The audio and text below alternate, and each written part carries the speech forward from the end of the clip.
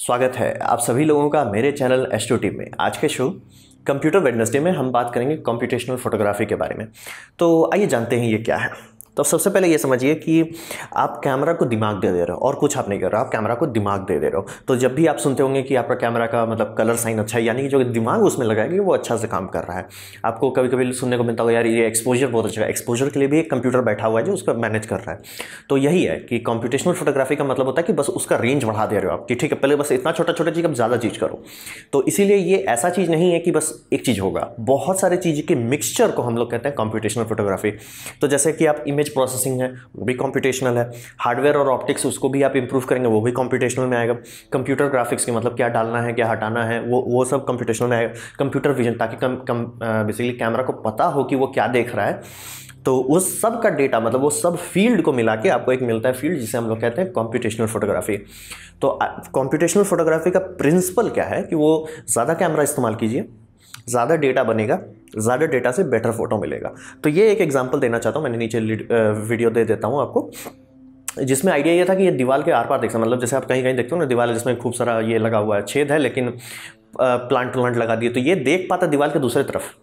क्योंकि मतलब जो छोटा छोटा छेद से दिख रहा है, सब कैमरा का इस्तेमाल करके वो एक ऐसा पिक्चर बना लेता है जो ये सारे डेटा को कंपाइल कर सकता है। तो ये तभी हो सकता है जब कंप्यूटेशनल फोटोग्राफी किया जाए। आप ऐसे सबका फ़ोटो देखिएगा, कुछ समझ में नहीं आएगा क्या हो रहा है। लेकिन कंप्यूटेशनल फोटोग्राफी के चलते ये सब करना संभव है। वही आइडिया वही है, ज़्यादा कैमरा इस्तेमाल कीजिए, ज़्यादा डेटा बनेगा। जितना ज़्यादा डेटा बनेगा, उससे ज़्यादा आपका फ़ोटो अच्छा आएगा। तो ये है इसका प्रिंसिपल क्या हो रहा है? यही हमारे स्मार्टफ़ोन में अब होने लगा है। तो आते हैं सबसे पहले, जब कुछ साल पहले काफ़ी कंपनी ने ट्राई कर दे D S L R killer का, कि मतलब डी एस एल आर को हटा देते हैं। तो दो लोग बहुत बड़े नाम नामी बने, जैसे ये कंपनी आई लाइट्रो तो लाइट्रो कैमरा का ये बात था कि इसमें फोकस ही नहीं करना होता है। There is no such thing as focus sensor इसका सेंसर जो है वो लाइट फ़ील्ड सेंसर था। तो मतलब लाइट कहाँ से आ रहा है वो स्टोर कर लेता था। तो आप जब फ़ोटो खींच लिए, बाद में आप फोकस चेंज कर सकते हैं। और यहाँ पे ये अलग है, ये बात समझिए कि फिजिक्स में चेंज कर रहा है, ना कि खूब सारा फ़ोटो ले लिया, उसको आपको दे दे रहा सॉफ्टवेयर में आप चुन लो कि क्या करना है ये एक्चुअली वैसा कर सकता था, ये फिजिक्स मतलब आप एक लेंस का इस्तेमाल करके थ्री निकाल सकते हैं। आपको डुअल का सिस्टम की ज़रूरत नहीं, ये इतना एडवांस था। और इन्होंने बनाया किया, लेकिन सक्सेसफुल नहीं हो गया जो प्रोसेसिंग पावर चाहिए उतना बड़ा फ़ाइल को हैंडल करने के लिए, वो बहुत ज़्यादा था। तो मतलब कोशिश किया इन्होंने, लेकिन सक्सेसफुल नहीं हो पाए। तो ये था इनका पहला। और ये सही बात है। मतलब मैं लाइट्रो का भी आपको नीचे दे देता हूँ। मतलब इन्होंने किया, ये गिमिक नहीं था। ये एक्चुअली मतलब बिना फोकस का थ्री डी एक फ़ोटो में आपको दे दे रहा था।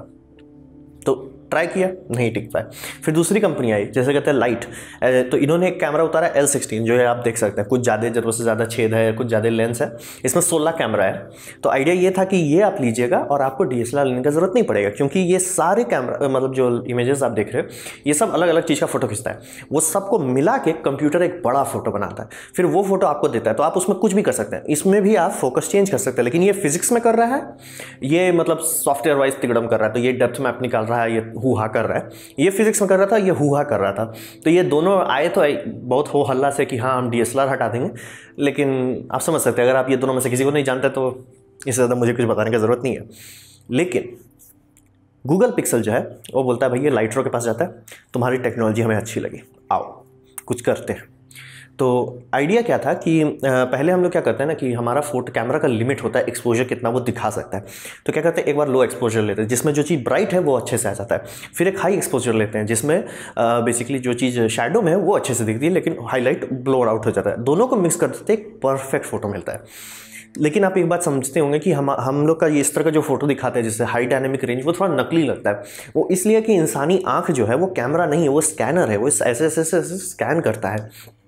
तो इसका बेसिकली नुकसान ये है कि वो सब इमेज थोड़ा कार्टूनी लगने लगता है। मतलब सही है मतलब रियल में वैसा हुआ, वैसा एक्सपोजर था, लेकिन हमारा आँख उतना भी नहीं एब्जॉर्व कर पाता है।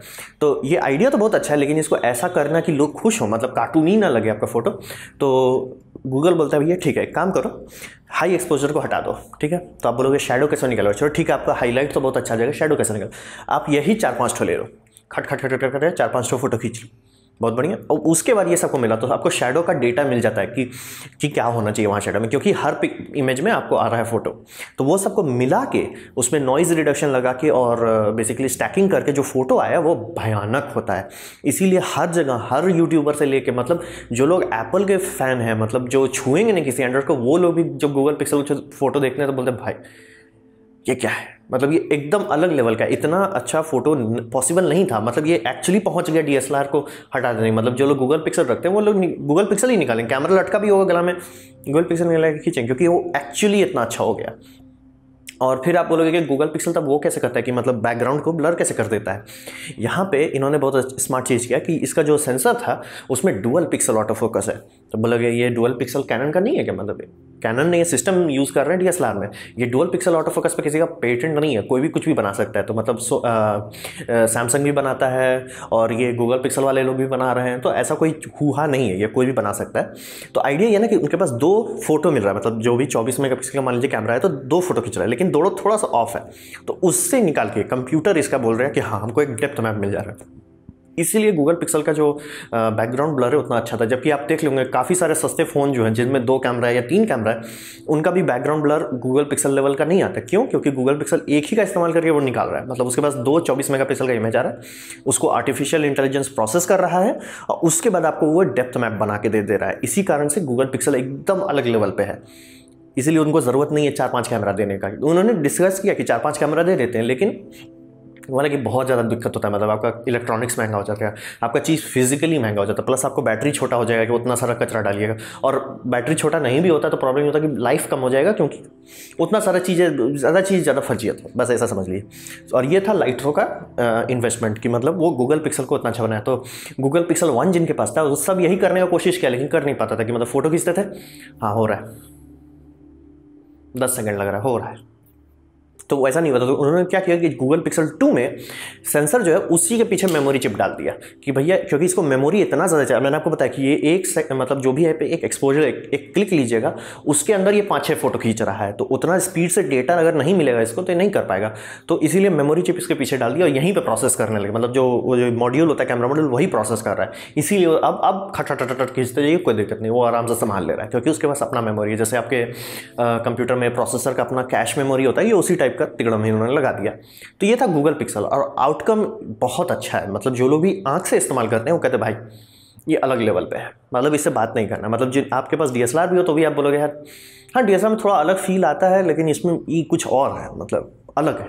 और मोबाइल के हिसाब से तो इसका बात ही नहीं। मतलब इसको डी मार्क जो कंपनी मतलब सब डी और मिररलेस को रिव्यू करती है, वो रिव्यू करके बोले कि, भाई, बहुत अच्छा है। तो समझिए, ये गूगल पिक्सल ने किया, ठीक है?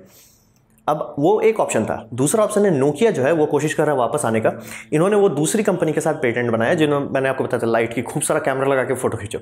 तो इन्होंने, इनका वही है कि भैया छः सात को कैमरा डाल दो, दस को डाल दो, बीस को डाल दो, जितना डाल सकते हो डाल दो। तो अभी तो नोकिया अभी ताज़ा वापस आया है तो कोशिश कर रहा है कि उतना ज़्यादा भावना में ना बह जाए, लेकिन इसमें इन्होंने पाँच कैमरा दिया है। मतलब एक, दो, तीन, चार, पाँच। मतलब एक ठो लाइट है और एक ठो दूसरा सेंसर है। तो ये पाँच है, इसमें से पाँच में से दो ठो ब्लैक एंड वाइट है और बेसिकली तीन ठो कलर है। लेकिन ये बात ध्यान रखिए कि ये इसमें वो तिगड़म नहीं है जो टेलीफोटो लेंस वो सब नहीं है। ये सब एक ही फोकल लेंथ का है। मतलब आपको एक फ़ोटो मिलेगा। ऐसा नहीं है कि जो मतलब जैसे एम आई ए वन है या ए टू है, उसकी हाँ एक वाइड एंगल है, एक टेलीफोटो इसमें वैसा नहीं है। ये सब एक ही एंगल देगा। तो एक भयानक फ़ोटो आपको देगा पचास मेगा का। लेकिन ये बात समझ लीजिए, ये जो पचास मेगा का फ़ोटो देता है, उसका डिटेल मतलब आपके डी के सामने रख दिए तो बोलेगा, भाई ऐसा कैसे हो गया? मतलब ऐसा नहीं कि डी उससे अच्छा नहीं रहा लेकिन आपको बहुत महँगा लेंस लेना पड़ेगा। आपको बहुत बढ़िया डी लेना पड़ेगा। तब आएगा उसे। मतलब इतना ऐसा चीज़ जो आप पॉकेट से निकाले, खींचे मतलब सवाल ही नहीं है। ये इतना अच्छा है। लेकिन इसका एक कीमत है कि मैंने बताया कि एक तो जूम वूम कुछ करना नहीं मतलब एक फ़ोटो दे रहा है, बहुत अच्छा है, आप वो कर सकते हो डिटेल कर लेकिन और इसमें भी आपको मिल जा रहा है डेप्थ मैप जिसमें आप चेंज फोकस की फ़ोटो खींच लिए बाद में चेंज कर लीजिए। वो, लेकिन अभी प्रॉब्लम ये है कि ये कुछ ज़्यादा एक्सपेंसिव चीज़ है। Expensive as in like computational wise तो समझ रहे हैं आप कैमरा को पाँच टो डेटा ले रहे हैं, पाँच डेटा को मिक्स करके उसको एक डेटा निकालना है बैंड बच जाता है। तो जो इसका प्रोसेसर है, यानी स्नैपड्रैगन एट हंड्रेड सीरीज़ का जो है, वो तो कंपनी खुद बोल दी भाई कि ये इतना लोड मत दो मेरे प्रोसेसर को, नहीं संभाल पाएगा। तो ऐसा नहीं कि ये काम नहीं करता मतलब आप आज खरीद लेते हैं, काम करता है, लेकिन स्लो होता है मतलब खींचे, थोड़ा सा टाइम तो। वो क्योंकि मैंने बताया गूगल पिक्सल वन में ये प्रॉब्लम था कि वो स्लो था तो उन्होंने क्या बोला भाई उसी में मेमोरी डाल दो, ताकि वो संभाल। इसमें अभी वैसा नहीं हुआ, ये अभी उतना फास्ट और इफिशियंट नहीं है। लेकिन हाँ ये बात आप समझिए कि अगर गूगल पिक्सल का आपको colour rendition feel colour science ये सब अच्छा लगता है तो इसका डिटेल आपका दिमाग उड़ा देगा। इसका डिटेल इतना भयानक आता है कि आपको बहुत पसंद आएगा या तो बहुत हेट कीजिएगा? लड़की लोग इसको बहुत हेट करेंगे क्योंकि चेहरा के अगर बहुत नज़दीक आया, एक एक रिंकल दिखाने लग जाएगा, एक एक दाना दिखाने लग जाएगा तो समझ लीजिए, सोच समझ के इस्तेमाल कीजिएगा। इसीलिए ओप्पो ये सब उतना चलता है कि क्या करते हैं? फ़ोटो खींचते हैं ब्लर कर देते हैं, सब चीज़ एकदम फ्लैट कर दो। तो फ्लैट में बड़ी सुंदर लगती है, लेकिन जब इससे फ़ोटो लीजिएगा तो एक एक दाना, एक एक स्पॉट दिखने लगेगा तो ये नोकिया का अप्रोच है। तो ये दो आपको जो मैंने एग्जांपल दिया, इससे आपको थोड़ा समझ आए कंप्यूटेशनल फोटोग्राफी नेक्स्ट जनरेशन है मोबाइल में। तो कुछ लोग कोशिश करेंगे दस बीस ठो कैमरा डालने का, क्योंकि जो कंपनी में आपको बता रहा हूँ लाइट वो सोनी के साथ आप पार्टनरशिप कर लिया क्योंकि सोनी सबसे बड़ा मोबाइल इमेज सेंसर मैन्युफैक्चर है कि भैया सोनी और सोनी अगर, और अब सोनी खुद भी मेहनत कर रहा है आने का तो सोनी खुद भी करेगा कि भैया ठीक है, हम दे देते हैं। हम भी मतलब पूरा एकदम जी जान लगाते थे। तो आने वाले टाइम में आपका डीएसएलआर को बहुत गंदा कंपटीशन मिलने वाला है कॉम्पिटिशनल फोटोग्राफी के चलते। वो एक मतलब एक कैमरा कोई सवाल नहीं है। दो, थोड़ा सा। पाँच, भैया डी एस को हटा देगा। तो समझ लीजिए कि ये आने वाले टाइम में कॉम्पिटिशनल फोटोग्राफी बड़ा इंपॉर्टेंट रोल प्ले करने वाला है हमारे फ्यूचर में। तो ये था मेरा प्रेजेंटेशन कॉम्पिटिशनल फोटोग्राफी के बारे में। उम्मीद करना हो आपको अच्छा लगा हो, कुछ सीखने को मिला हो। अगर ऐसा है तो लाइक कर दीजिए, मेरे वीडियो पे चल रहा है ऐड को क्लिक कर दीजिए। ये जो बैनर वनर दिखता है, उसको क्लिक कर दीजिए, उससे मेरा काफ़ी भला होगा। और आपको नहीं पसंद आया, कोई बात नहीं, आप डिसलाइक दबा सकते हैं। दो बार दबा दीजिए, उससे आप, मुझे पता चल जाए आपको कितना डिसअपॉइंटिंग लगा। या आप कॉमेंट लिखिए, क्योंकि मैं हर कॉमेंट का जवाब देता हूँ। और आप सब्सक्राइब कर सकते हैं। बेल दबा दीजिए, क्योंकि अगर आप फ्री हैं तो आपको नोटिफिकेशन मिलता रहेगा। और आपने मेरा वीडियो देखा, ये जान के मुझे बहुत खुशी हुई। धन्यवाद।